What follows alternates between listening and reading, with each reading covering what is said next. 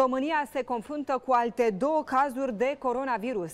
După ce un bărbat din județul Gorj a fost depistat pozitiv zilele trecute, acum jumătate de oră aproximativ, autoritățile române au anunțat alte două cazuri.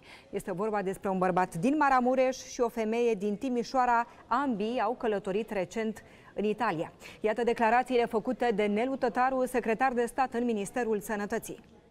Putem să vă anunțăm că mai avem două confirmări uh, coronavirus pozitiv.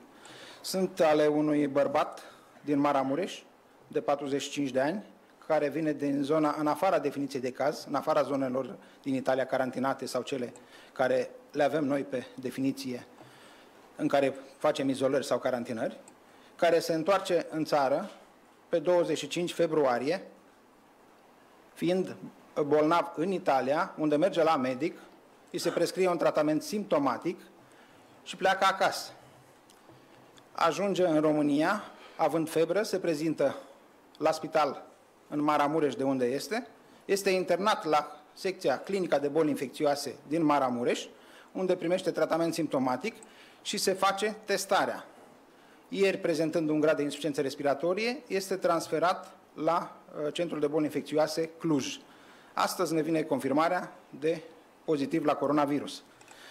Cel de-al doilea caz este al unei femei de 38 de ani din Timișoara, care pe 17 februarie merge o zi la Bergamo, în afara zonei de uh, definiție de caz,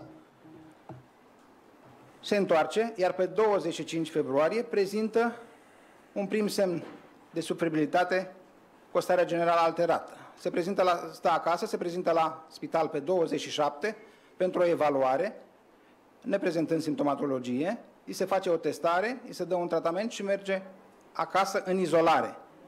Astăzi și testul dânsei este confirmat pozitiv.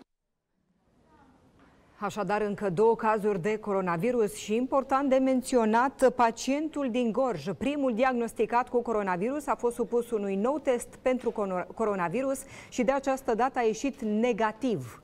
Acesta era purtător de coronavirus, nu prezenta simptomele virusului. Înțeleg că luni testul va fi repetat.